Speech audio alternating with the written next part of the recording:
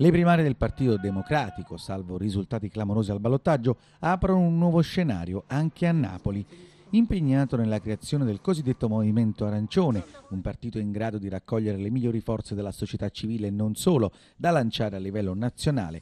Luigi De Magistris in un'intervista ha ipotizzato un quadro di alleanze che includa anche il PD e la sinistra Ecologia e Libertà di Nichi Vendola.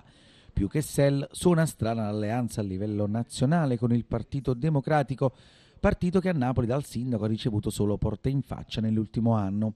I rapporti tra l'ex PM e il partito di Bassolino e Iervolino non sono mai stati buoni, eppure, dopo l'intervista di De Magistris, questa mattina i vertici locali del PD e di SEL, i due segretari Enzo Amendola e Arturo Scotto, hanno convocato un incontro con la stampa con una curiosa tempestività. Io leggo le interviste di De Magistris quando parla della città e dei problemi e come risolverli. Sulla politica lascia il tempo che trova. Possiamo dire che queste frasi dette appunto dal sindaco cambieranno i rapporti nel Consiglio Comunale di Napoli? Napoli? Il Consiglio Comunale di Napoli si deve occupare dei problemi di Napoli. De Magistris è il sindaco della città. Uh, a me non piace che i sindaci si preoccupino di fare liste nazionali, è un suo diritto, lo può fare, però ovviamente noi ci preoccupiamo come Partito Democratico innanzitutto delle emergenze di questa città.